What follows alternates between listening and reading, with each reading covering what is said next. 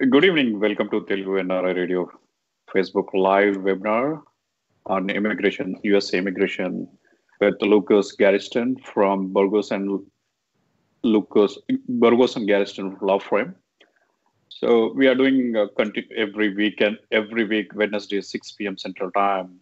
You can connect to the Facebook. Uh, maybe we, we can post in you, Telugu NRI Radio YouTube channel. You can go and uh, uh, view the recorded show. If you have any questions, maybe you can post in Facebook Facebook wall, and uh, maybe you can correct. We provided the phone number and meeting number. You, maybe you can join to the meeting number, and you can directly talk to the attorney and clear your questions and clarifications. So now we can welcome to um, welcome to Lucas. But before that one, we can discuss today a lot, lot of, lot of things. The new government got change. We'll see how does it work and uh, what is the impact on immigration system. We'll see any good news or bad news, uh, any uh, future new rules coming up. We can uh, ask with Lucas and get more information from Lucas. Hi, Lucas. Welcome to Telugu NRI Radio. Hi, Venkat. Thanks for having me again this week. Uh, it's been one exciting week uh, since the election, since our last show. Uh, as you hinted, uh, you know, we have a new uh, president elect at the moment, uh, you know, Joe Biden. And, you, you, know, Donald Trump is still officially our president until next January when Joe Biden will be sworn in as the new president. Um, so, you know some things that we've discussed and, spoke about the past uh, month or so with a, uh, there's been quite a few changes that have kind of been implemented week by week almost hour by hour at times uh, in regards to you know these wage levels uh, other new rules fee increases and you know a lot of that's still pending or being challenged in the courts. But you know overall this is very good news where i can tell you that uh, you know, next year, hopefully, you know, the, the tide will turn, so to speak, and we'll have a better um, luck with, with normal life, I guess, uh, I guess you could say, uh, you know, with this new administration. Yeah. I remember you, one of the meeting you said that um, choose uh, the president who gonna reform the immigration system. What do you think? Uh, the Biden is promised his election agenda is going to be reform the immigration system, DACA, family-based, and uh, employment immigration system. So we can discuss uh, uh, one by one. So generally, first you say, what do you think? Uh, Biden will really implement all this, uh, the whatever he promised in election? Well, I think a good part of uh, the vision that he has will be implemented. Obviously, I mean, the way things work is there's always a give and a take uh, when you when you sit down and, and try and do anything through government. And I believe that you know the vision that has been shared or communicated up to this point is number one. Um, there's family separation issues at the border. Uh, we don't want to you know keep young children in cages or have them separated from their families. Um, there's also, you know, a humongous backlog with immigration court for, you know, deportation or removal cases. And uh, part of it, you mentioned DACA, uh, the Deferred Action for Childhood Arrivals. You know, hopefully we could do away with that program where we have these kids a permanent relief uh, to adjust their status and, or have some program where they can eventually become a citizen. Uh, now, before we go too in depth in all this, I, I, some of the notes that have been uh, put forward both by uh, American Immigration Lawyers Association and some other advocacy groups uh, as it pertains to H1s is, you know, we want to address the humongous backlog that there is right now with uh, people with pending I-140s. Even, you know, the this past uh, month with the October uh, visa bulletin, now November, you know we've we've had a you know tremendous uh, ability to go ahead and file a tremendous amount of uh, petitions or applications for uh, people who've been in H-1B status for many years.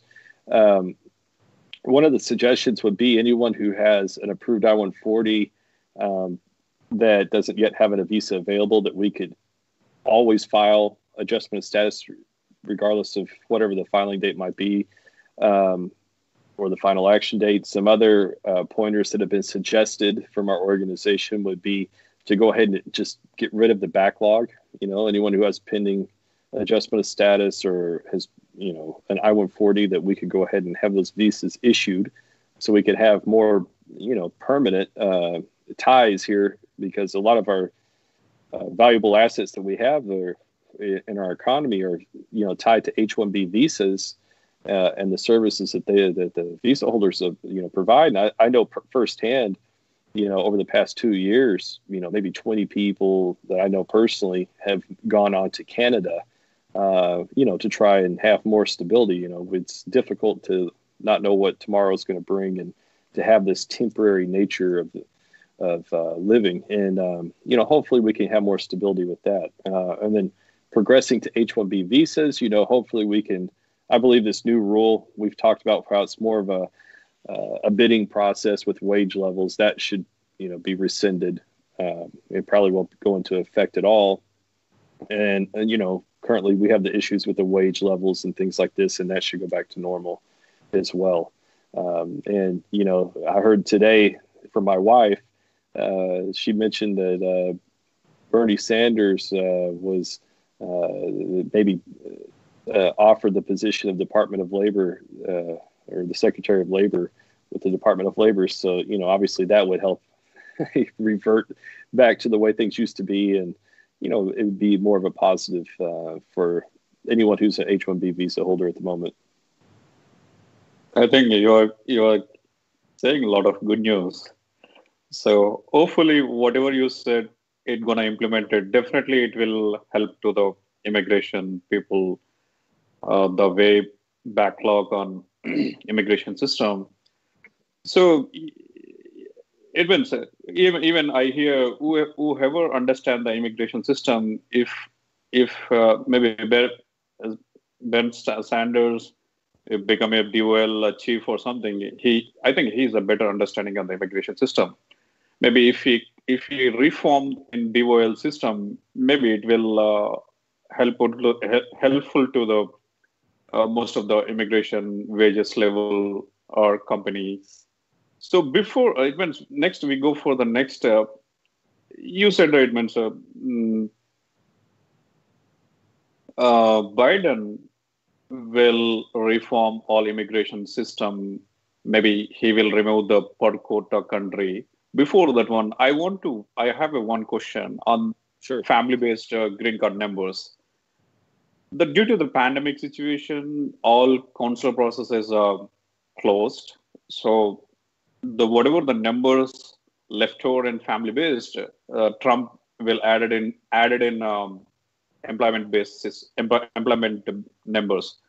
So if Biden take oath on January 20, after that, will Biden reward this family numbers to family based system from? Well, I I, that's a good question. I think that that's a very good possibility. Now, you have to remember too that these so-called bans are temporary in nature, um, and you know, really, it was probably unnecessary to have such a a, a long duration of uh, you know this ban uh, or you know the closure of the consulates where you can't go for your interview and finish the consular process.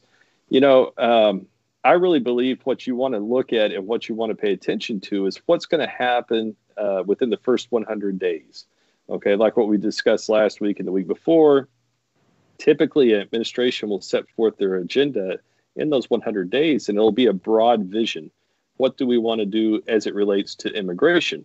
How do we want to address the main issues that are within the immigration system that are broken? So, I mean, I think as uncomfortable as it might be for uncertainty and things like this with H-1Bs or the new rule requirements, that you know, probably the agenda, the first thing on the the to-do list would be to help stop separating families, to keep people from being locked in cages, you know, and and you know, we would just go down the list from there. You know, obviously we want to reform our immigration courts, uh, allow the docket to move at a much faster pace. You know, we have some cases that are, if you have a case that started today or tomorrow, it would be, uh, you know, maybe 2023 or 2020, late 2022 before you would have your first court appearance. And, um, you know, that, that level of, of backlog is something that needs to be addressed. And then obviously, number three is probably going to be hey, we have to fix this uh, tremendous backlog of our talented uh, employment uh, based immigration because we have so many people who contribute to our economy that are more or less, you know, wanting to stay here and have a pathway to citizenship and have uh, the ability to plan and, and prepare for the future. You know, we need to have a certainty so you know that if I commit five years of living here, that there's options if I choose to eventually become a citizen. And you know what career do i want? What pathway do i want? You know and these are all important things that need to be addressed and i, I feel really hopeful that uh, these will be uh, addressed in the first 100 days. And and you know from there we'll have many many many more discussions on the specific details of what's to come. Okay. So the Biden maybe is still we have the two and a half months time to see after oath what is the take on on immigration system. If really in hundred days he will take on next level, next move, maybe everyone relax in United States and uh, enjoy life. that is a very good news actually. Um, the most of the immigration means you, you already told that Edmund, so the 20 members went to the Canada due to the immigration issues. So this will be uncertainty their um, life and their uh, their kids and everything. It, it, it will impact the entire the family. You mentioned a good point to keep all family members together so that their life will lead uh, peacefully. So hopefully it will happen once when it once well, so, and that's another thing uh, uh, that we mentioned many times, you know, over the past two months. If you have the opportunity to file for GC, have your foot in the door because when the changes come, it, the one of the changes might be anyone who has an approved uh, I-140 with a pending adjustment of status, they might say, "Hey, the visa is immediately available," and it could go much faster than the traditional waiting and backlog of the visa bulletin. Yeah. Yeah, that's good. So, Lucas, I, I have a question. We can go for the H-1B high wages. You said that uh, it gonna it, it will not uh, implemented maybe once uh, Biden took over. The what if uh, in between this this uh, high wages will Im- will implemented from the December eighth, uh, two thousand twenty, right? Whoever apply after December two December December 8, 2020, will they take the new high wages home or LCA? Think, How does it work here? So we're talking about two things in as one. Okay, so the new wage levels came out a few weeks back, um, and and there's a pending court cases uh, about those right now that you know are entering the argument stage to have an injunction issued. Um, the lawsuit's handled by AILA, American Immigration Lawyers Association.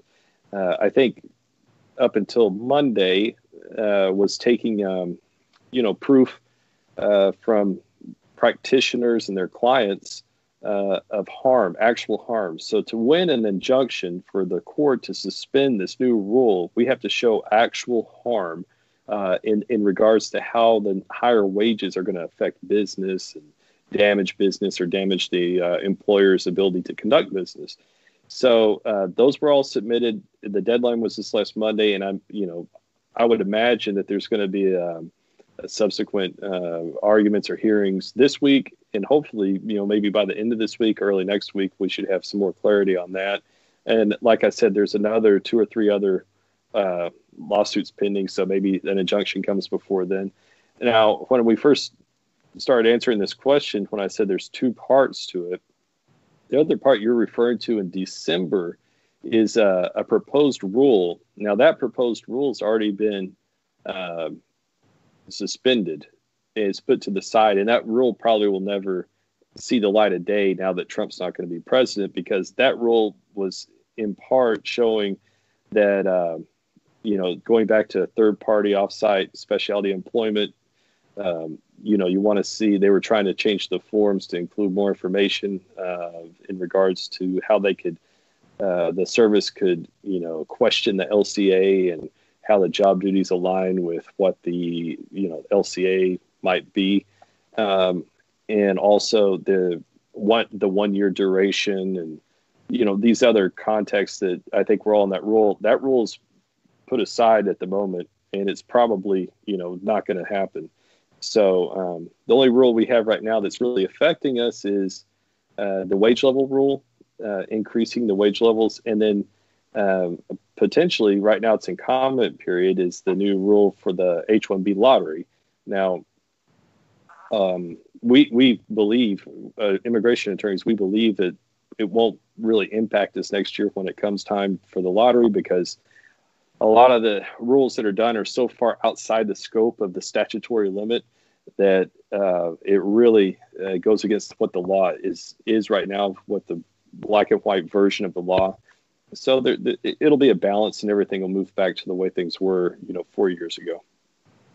Okay, the Lucas, you mentioned all the the new regulatory rules which are going to be October, maybe December 8th, after December 8th. What about the specialty occupation definition in what is a is going to change or they will continue to the they change the specialty occupation definition? What is your so, thoughts on this one? So the specialty occupation definition is codified and what codified means is it's in our law. So congress actually said you know there's four ways you can have a specialty occupation. Any one of the four requirements that you can meet qualify as a specialty occupation under H-1B. Um, now, having just said four small sentences, it's very difficult for Congress to legislate exact detail from that. So, USCIS has a little bit of uh, ability here through their rulemaking process to determine, okay, we have this sentence, it means this. Now, when we look and adjudicate the cases, we're going to apply it to these standards. And, you know, typically you still have to stay within the scope of what the meaning of the statute is. So to say it's going to change or to change so much, that's what these lawsuits are about. It's either with outside the scope of what the law is or the proper procedure to change the rule to how the service is going to apply it hasn't been conducted appropriately. Okay. So, just you spoke about the high wages. Um, this is regarding to the cap 2020, right? 2020, right, Lucas? 2021 well, now. So right now, so like if I file an LCA at the moment, there's a lot of people um, that are you know using alternative wage surveys and things like this at the moment. But if I filed an LCA at the moment using OES uh, data, which is from the Department of Labor, it's going to show the higher wage rate. So here in Dallas, a level two wage for a software developer would be right around 94,000. Now it's uh, well north of 120,000. So uh, you can see the the effect, the dramatic effect that would have. Uh, so, you know, like I said, is I expect maybe within a week to 10 days that's going to go away, uh, and everything will go back to normal.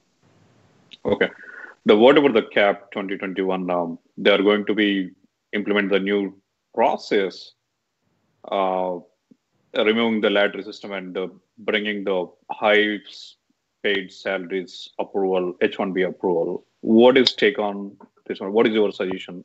Or maybe well you can share whatever you i mean i i think even if all the rulemaking procedures are followed and everything's done correctly um, I think it's still very susceptible to a lawsuit because you know it clearly states within the the code that you know if the numerical limits are are met, a lottery is supposed to be conducted, and it doesn't spe- specify that it's uh, a lottery based upon bidding of the who's going to pay the highest wage. Okay, So that's completely not even in the the Immigration Nationality Act or any. It's not codified in any uh, regulation that we have. Um, so what what a, it would be is a you know an easily challenged case that would go to court. Now, just as uh, we spoke at the beginning of the show, you know, Biden's just now you know elected president, so that's probably a policy he's not going to uh, follow through with, and we would revert back to what it was before. And um, you know, a lot of large tech companies uh, have filed suits and also have other actions. Obviously, they have connections where they can speak to senators or congressmen or even the administration from you know Microsoft, Apple, Google. Uh, you know, so they have the access to maybe say, "Hey, look, you know, we have so many resources here that our, our business will suffer if you implement all these rules." So, um, you know, I, I, I don't believe that that's really going to be something that's going to be uh, implemented, and um, you know, it, it, should next year should remain the same as this year as far as the H one B cap goes. Okay. Anyway, in uh, March, maybe they open for lottery uh, cap 2021 application start from the March 2021. So by end of March 20, might be get more clarify what which process is going to implement in cap 2021. That's right. So you know, here's a, here's another part of the process to consider. Um, this year we we did a registration system where we're putting the someone's name, their birthday, their passport number, and their country of origin uh, to get a registration selection. Uh, we're not including any LCA information or anything else until the person goes and you know we get selected and we're able to file the case. So um, there's a whole other component to that system that would have to be created and implemented. Uh, and I just don't, from what I've heard, I don't think they're anywhere close to having that system created uh, or implemented or even tested. So um, I would I would not worry about that if you're currently an F1 student wanting to you know throw your hat in the ring next year and, and try again for the H1 cap. Uh, I think it, everything will be business as usual. Okay. Advance, I hear uh, Biden will increase the H-1B quota. Every year we have the 65 plus 20,000 master quota, right? Will have any chance to increase the H-1B quota for 2020, maybe not 2021, maybe 2022? Uh, that's always the possibility. You know, when the program was first administered, the they had so many numbers in the first so many years, and it would decrease and then go down to that number every year thereafter. And uh, there, there could always be definitely something like that where instead of the 65k, they maybe they say, look, there's such demand and such need, we can up it to 150k, or you know, whatever the limit might be that that's reasonable for the government. You know, they they could scrap the H-1B visa altogether, and they could say, look, maybe we're going to have uh, you know a, a, software developer visa quote unquote that that allows more people to to utilize this. Maybe it's an uncapped visa much like a, a you know a tn visa or anything else. And um, you know that's a possibility. And and there's really anything it's a it's a clean slate because anyone can come up with a better idea i think than what we have right now. Uh, this this idea that we have now was you know created you know 30 years ago and um, at the time it met the the needs uh, of what was required but since then um, you know it's a it's an old clunker that we need to to renovate and fix and refurbish because it's not meeting the needs and the demand of what the market shows today. Okay. So lucas um, maybe i'm going to the next uh, h4 mm-hmm. H4 EAD brought by Obama, and uh, Trump is continue to accept it. It means giving to the H4 EAD. So What is uh, in Biden administration? Will they continue to H4 EAD, or is there any information that continue or not continue? Uh, that was brought up in some of the talking points um, AILA has, you know, as far as uh, what we want to see addressed. You know, we if, when this was came up with Obama, the whole purpose is uh, we want family unity. That's a tenet, a core concept of immigration law, and part of family unity is not is so much anymore of a single person uh, working. You know, uh, a household today requires maybe one or two people to work for it to fully function. Uh, we don't want to limit someone. Uh, obviously, you know, if, if you are here and your spouse is on H1, we don't want to limit you and, and you maybe the best part of your career from working just because a visa is not available or, or some other circumstance. So, um, you know, again, maybe something, um, another concept that was brought up, for example, is uh, we spoke about the visa bulletin and what visas are available. And we spoke last week about how we factor and estimate how far the dates move. And part of that is to say, you know, we have one visa, but usually a person has three people in the family.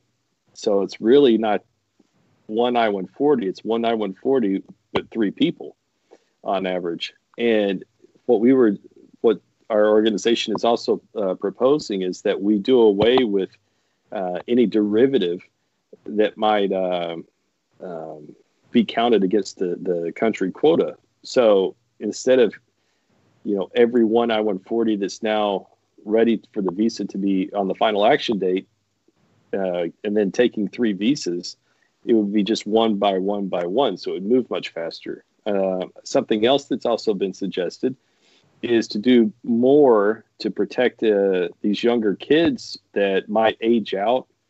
So there's a lot of kids that might be 17, 18 years old.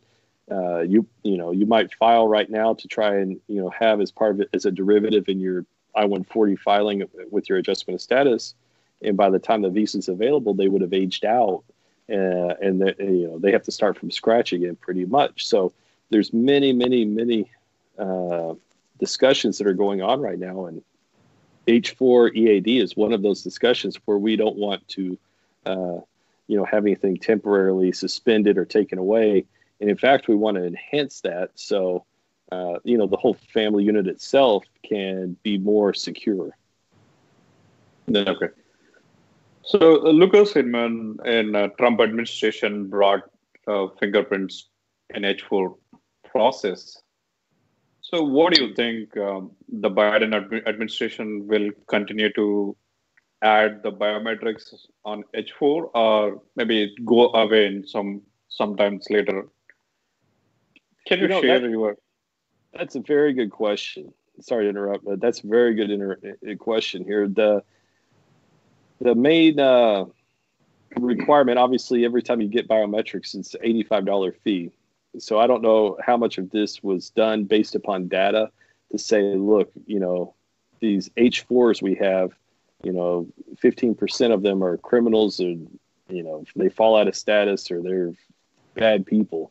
So we need to constantly fingerprint and make sure we're staying on top of that, you know, or is this just something where it's like, hey, look, we can get extra $85 and make it more difficult for people to get these visas. So if I were to guess, I haven't seen the data, so I, am just guessing. But if I were to guess based upon H4 and the everything else that might transpire, I would say the it, it's probably feasible to do away with the biometrics uh, because I, I, can't imagine that uh, you know these biometrics are conducted and they're catching uh, people who've broken the law or are a danger to the community.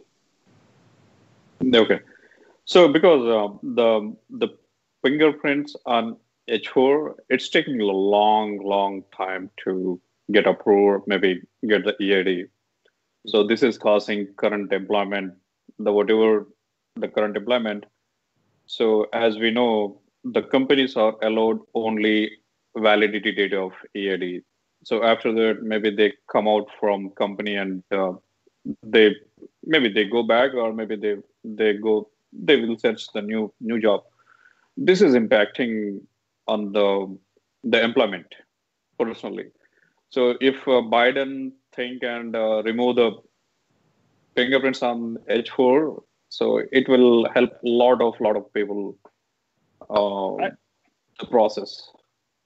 I think so. I think that that's a good point you brought up. And, you know, I have many examples. You know, here today I received an approval notice for H4 EAD, and that was the, the principal immigrant, the H1 visa holder, their case was uh, approved in February. So you can see this dramatic and drastic uh, elongation of, of, waiting periods. Uh, and it's all it's going to do is keep getting uh, more backlogs. So, um, you know, that's that's one key point I think should be addressed. Uh, another thing, maybe uh, they should they can change the policy where H4 EAD can you know work on the receipt of the uh, extension, so there, it's not such an abrupt ending to uh, employment. And then, most importantly, which I think this has been the manipulation all along.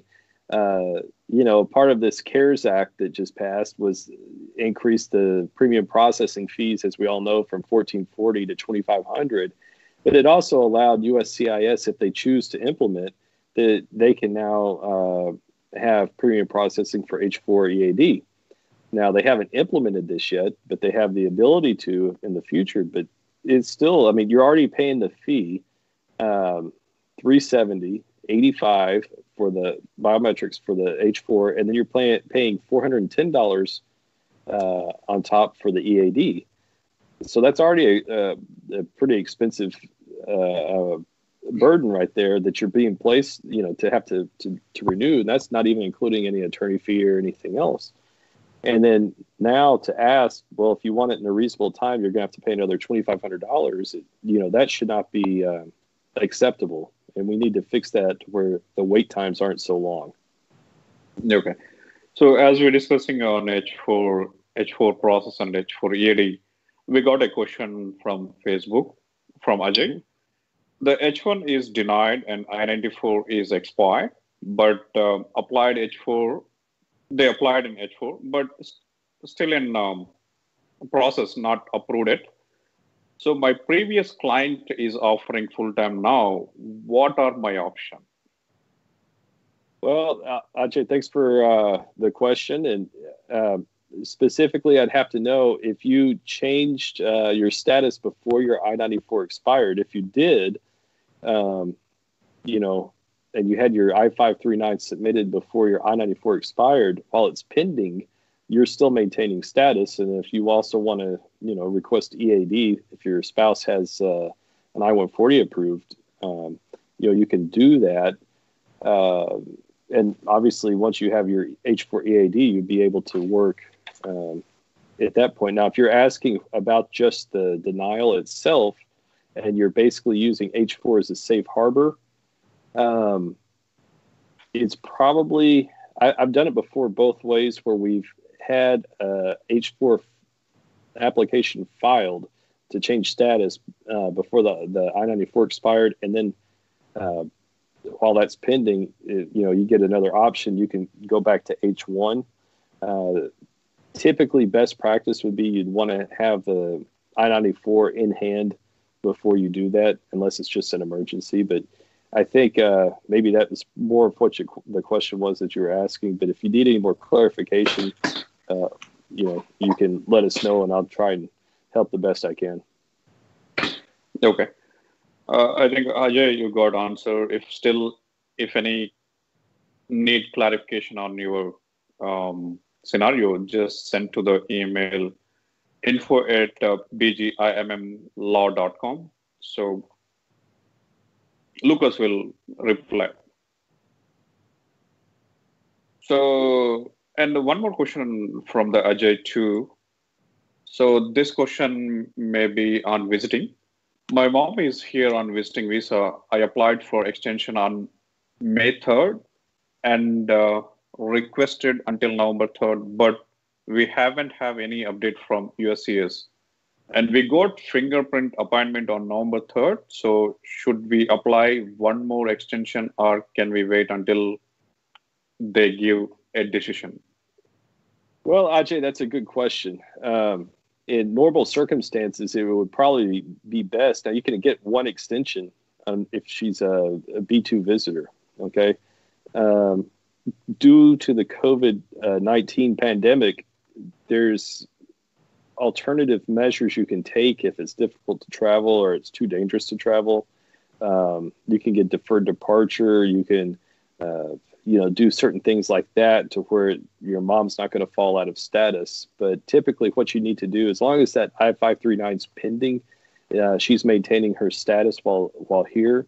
But if you know you already have an itinerary set up, a flight booked, and then you know something comes up like right now we're in a second wave, so to speak, of this uh, pandemic, uh, then you could go and speak to uh, a CBP officer, um, and, and, there's different contact informations for different airports. Uh, most attorneys will have that information, and I can share with you if you want. And you would just do uh, what we would call a deferred departure, and they can keep deferring that until it's uh, appropriate for her to travel. Okay. So, Lucas, I have a question. You brought um, interesting point is a second wave. All right. The maybe last 24 hours it gone to 200,000.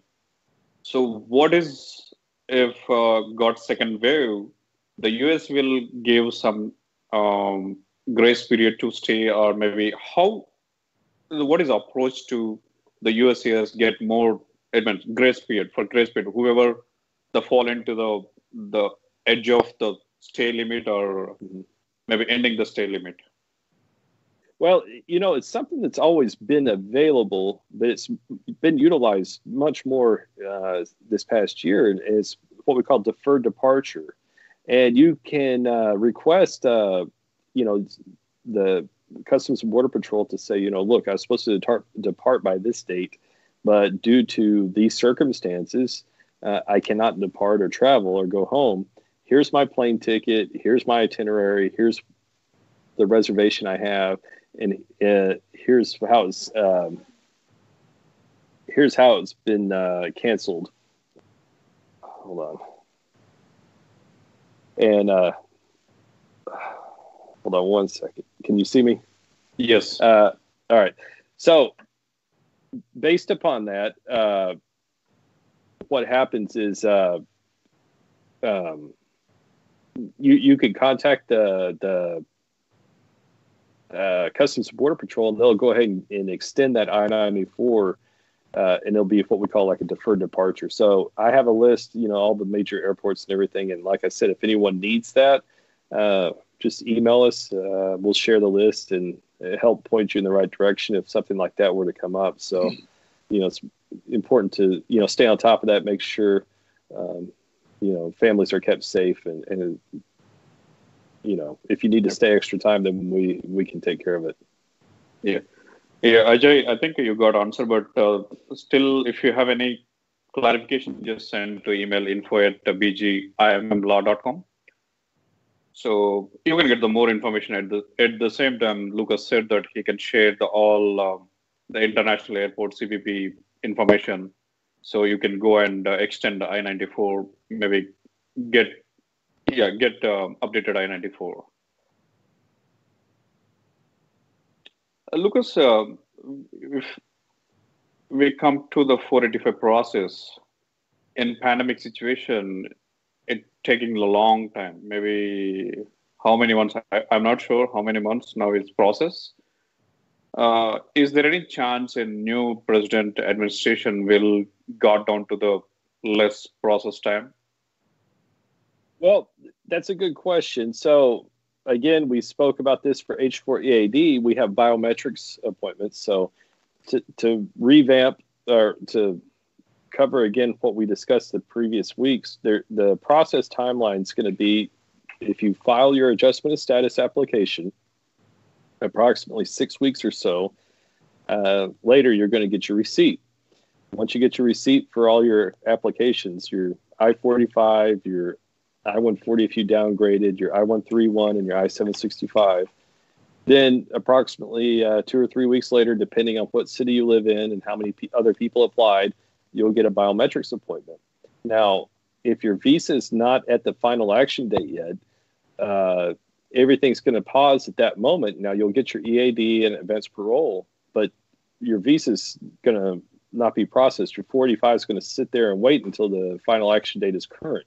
Now, going back to this, if something wonderful happens and, and they say anyone with a pending 45, uh, you know that the visa is current now that we're just going to say look here's extra 50k 150k 500k visas whatever it is uh, to apply to this backlog um, then it would take probably another uh, six or seven months in normal processing time. So you know there's a lot of moving pieces a lot of factors involved you know are we still going to have the requirement of biometrics at every step uh, for because if you have H4 EAD with biometrics, that also anyone with a, EAD for um, you know GC, it you know that's they don't have different biometric offices for different people, you know, doing biometrics for different things. So it, the, the line stays long. Now, if they take away H4 EAD and maybe some other classifications, it's much faster to have your appointment, which means it's faster to process the EAD, uh, so on and so forth. So you know, less requirements makes things move faster. More requirements makes things move slower. okay. So just uh, one question um, on Ajay, the first question. I think uh, they applied the H4 as soon as I-94 got denied. What is um, the scenario? Is it potentially risk or? Well, it is potential risk. So if you filed the so, H4. So here's the situation. Let's say you filed an extension uh, and you saw online your extension was denied uh, and your H4 had already expired. Well, that, that you're kind of in a difficult spot at that point. Um, now, if you filed, uh, I'd have to know specifically the dates filed to really kind of go into detail. There, there's certain processes and procedures you might be able to to do or follow. But for the most part, your your lifeline is that I ninety four. You never want that I ninety four to expire or, um, you know, because at that point, you the only alternative would really be going for stamping, and uh, that's something that's not even available at the moment. Uh, you know, if you if you did go stamping, unless you know there's some urgent need or something that would fit within uh, those requirements at this time. Okay. So here, uh, Lucas, to understand, if anyone fall in this situation, the, what is the steps? Is there any waiver process to apply and uh, clear the, uh, what is the, clear any kind of the scenario? Well, so when you change status from one status to another, you have to maintain your status. Now, if you file late, there's, uh, I think, four requirements. You have to the late filing is at no fault to the person who's the non-immigrant visa holder. So if it's H1 or you're trying to get to H4, that the late filing is no fault of your own. Um, that you've maintained your non-immigrant status before that time, that you're not in removal proceedings, and that you're still valid uh, or able to receive that non-immigrant benefit. So those are the four points that typically are, are used for that determination and if you if you're able to show through and, and this is where it's very difficult for me to tell you in broad terms it's very much uh, person to person so if there's very good reasoning and you can get affidavit of support to list that this is why this happened or maybe something that's out of your control or maybe i can't this happened because of the pandemic and then i can't go you know all these are factors that you can use for your for evidence. And then, based upon the totality of the evidence, everything put together, uh, you might have a good case uh, to move forward. Okay. Thank you. Thank you, Lucas. So, just we go for uh, the last four years, the Trump bring a lot of the new rules on immigration system. So, it's still in January 2020. What do you think uh, the end of the his tenure will uh, implement any new rules on immigration system or continue to the whatever the impose the new rules what do you think on last uh, trump administration i think he did a lot of things uh, it meant a countries ban travel ban uh, consulate uh, it meant still open is still closed on january 1st 2021 so do you have any information on this one? How the trump administration react on this? You know, uh, these are all good points, and I think when you're talking about bans and consulates closing and things like this, I think you have to look at you know currently what's going on. You know, you and I are here in Texas, and we've just hit the one million case mark for coronavirus. So it's probably not you know a safe place to be right now. There's other places that you could go country by country and say you know this is safe or not safe, and that that should be an impartial decision based upon science uh, to reopen. Uh, as far as like a, just a blanket ban, I don't think you'll see so much of that. Uh, but I think carrying over to Joe Biden administration, I think you have to be responsible to say, you know, it's dangerous, especially if you're going to ask your mom or family members to go and get stamped in the, in this type of pandemic. We don't want anyone to get sick or die uh, where, it's unnecessary. Uh, that's one. Um, two, I, I think, you know, what we've touched on before with um, these changes, uh, you know, one thing we haven't discussed much is these FDNS uh, site visits where the officers now they'll call each candidate or they'll try and go to the end client you know obviously right now a lot of people are working remote uh, because of the pandemic, and, and there's a lot of uh, headaches where officers are following up to see, you know, are you really working here? What are your job duties? Are you doing this? Did you pay your employer for your visa? The, you know, all these questions they ask. So I, I think if you look at it logically, if they, if someone's looking at you know mathematically to say we're we're only catching 0.01% fraud doing all this extra work, I think they're probably going to stop that because I haven't heard of many, uh, if any, uh, fraudulent behavior actually picked up by this. It's not like there's uh, employers with uh, 200 people on bench just sitting here, right? Uh, you, you know, that wouldn't make any sense. So I, I think some of these provisions are going to go back to where it was before. Um, you know, for the most part, everything's going to operate the same under these uh, the current laws in the system. It's just the enforcement and application is what's going to change and and that's something that you know I'm looking forward to because it would mean a lot of less headaches because uh, as attorneys we we care we don't want people to have a case denied or people to have to leave the country or make you know quick decisions on what to do as far as like uh, you know what they need to do for their family so hopefully it brings more stability back uh, you know starting next year okay So hopefully he won't continue, or maybe he will not bring new rules the last tenure. So, the Lucas, we can we can go the next question. Just understanding about the immigration rules and bills.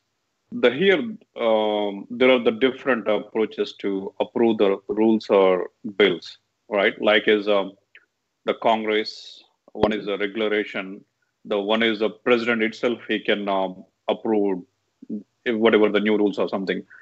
So can you give the rough information the which rules are goes to the Congress and which rules goes to the regulation and which which maybe immigration rules goes to the president to get approved? That's a good question. So I would like to, for, for if you ask this question, you have to think about um, maybe like a pyramid. Okay.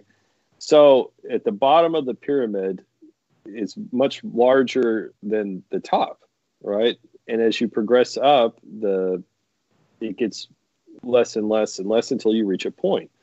So if you take a pyramid and you put it in uh, sections, you know Congress typically will will create a law or something of the effect that would add on or fix probably the top third of the pyramid. But underneath the pyramid's a huge base uh, that still has to be there to support it. So Congress can't. Uh, I mean, there would be a, a, a, law that would be so long that it would be manuals and manuals and manuals of books, and it would still not account for everything that the agency needs to do to to operate. So we have, you know, the minister the the APA, which is what the administration or the agencies use um, to create small rules on how they apply the laws that Congress writes. So, as we know, uh, both houses of Congress can advance and pass a law, and it goes to the president. He'll sign it into law. And under the uh, APA, uh, you know, each agency will be able to administer rules of what they need to do to where they can, um, you know, use the, you know, uh, follow the law, uh, so to speak. Now, the agencies are all in the executive branch, which mean that they're the that's the branch that enforces the law or applies the law to what it needs to be uh, for it to be done. And Congress uh, is particularly just writing the laws, you know. And then we have our judicial branch that uh, interprets the laws and makes sure everything's constitutional. So within this framework, the agencies have the ability to propose rules. Uh, the public, as a part of our rulemaking process, has the ability to comment on the rules. And if so many people say, you know, that's not good, this isn't the best way to do it, we should do it this way, or something else, that all that's taken into account on the public record, and they determine whether or not the rules should be issued. Now, the Trump administration has pretty much hijacked this to say, well, we don't care what people say or think or how it impacts anything. We're just going to do the rule because that's our that that's our policy, and uh, you know that's kind of abusing the system, and that's why there's been so many court challenges, and for the most part, that's why so many court challenges have won uh, because there has been such abuse of power. And uh, like I said, you know, hopefully now with the new uh, administration you know things go back to more of a normal operating procedure, uh, and that's what you know we hopefully you know have next year. Okay. Lucas here, just um, the quick understanding. Let's say if any immigration, family immigration changes or uh, maybe new rules, will go to the regulation or Congress. It, I believe um, you know it's going to go through Congress. Uh, that, that that has to be the the best way of getting this done. So you know Congress can pass a law that said that keeps the framework of what we have now, and just uh, you know tweaks it to say like, well, instead of this many visas, we're going to double it or triple it or reduce it, whatever it is. They can do that. Um, okay. That would be keeping the skeleton. Now you could also have something revamped and completely new you know, set up. And then if both houses of Congress pass that, then, uh, you know, that would be the new system. And, and we would go start from there fresh. Yeah. I think per, uh, remove for per, per country quota. This will also go for Congress, right? Correct. So Congress is the one that authorizes everything. Congress says you there, here's so many visas. Here's the cap for H1s. Here's the process for H1s. Here's for family based. Here's you know for VAWAs for victims of uh, uh, domestic violence or um, people who have T visas for victims of human trafficking or U visas, victims of crime. There's so many different, you know, visas out there. I, I, I do know this. I know there's a, quite a few people that have had a lot of trouble with L visas. A lot of people who work for Cognizant or other larger companies and uh, the denial rates of L1 visas are so out of hand at the moment that um, you know that's also going to be something that, that they're going to address and fix because that's that's been completely unacceptable for you know the past two or three years now. Okay, so uh, just understanding about the Congress, right? I think uh, the new government maybe got only the 46 right now, the Democrats, and uh, Republic already got the 48. Maybe Democrats, maybe they will Georgia and maybe Georgia in two two senates. So if any if any bill need to pass in Senate, it should have the 60 votes, maybe 60 votes. Here, the both Democrats and Republican Republican doesn't have the majority uh, votes in Senate. What is your take on this one? It means what what do you what do you think? If any new bill comes to the Senate, uh, will gonna pass or maybe well, it will stay? I think that's the best part of our American democracy. Actually, I, I think the best thing is probably not to have everything uh, one party control because what you want is collaboration. You want people to say, look, this is America. We're working together to find the best solution for America you know one side doesn't have all the answers so in a perfect world you know we would say in the house which is probably majority democrat i think it's i think it's going to stay that way um, then they can pass a bill and advance it to the Senate. The Senate, if it's Republican control, we can compromise. We can say, look, I want to let you know everyone in the world to come to the United States unlimited, and someone might say that that's not a good idea, but we want to fix this problem. You know, that's usually where the best uh, solutions come from. Is when we have uh, a working agreement or collaboration or compromise. And of course, if the president's on board with everything, it only takes, uh,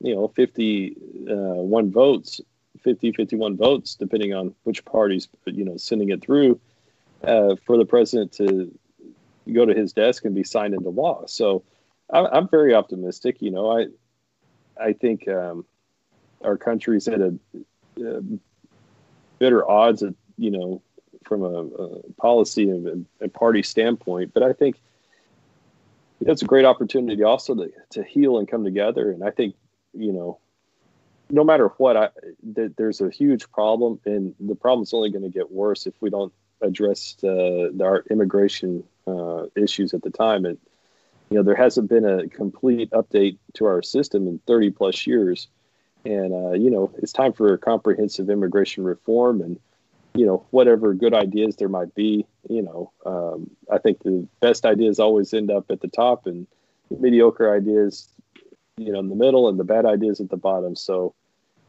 whoever comes up with the ideas, it shouldn't matter. And we should all work together to try and find the best uh, solution for this problem. Okay. Yeah. Thank you. So we discussed a lot of uh, administration process till now just I want to touch base. October and November visa bulletin, where we are. Are we getting any results out or still pending? Still pending. Still pending for, for like I said, it's going to be four to six weeks. Um, if you know you submitted your own check, you can check and see if the check cleared. Uh, on the back of the check should have a case number, um, and um, but you know probably uh, here in the next couple of weeks we'll start getting receipts in. Okay. So, it, and maybe uh, it means uh, everyone is applying in uh, downgrade in October visa bulletin. We'll see next couple of months what is uh, the maybe receipts and uh, is any everyone waiting for what is going to be the approval process? Will they get any RFEs or will they get any uh, queries on downgradable? Everyone eagerly waiting for the um, that one. Hopefully, still it taking it taking uh, four to eight months. We'll say in next uh, couple of months to get this receipts and uh, and status think, too.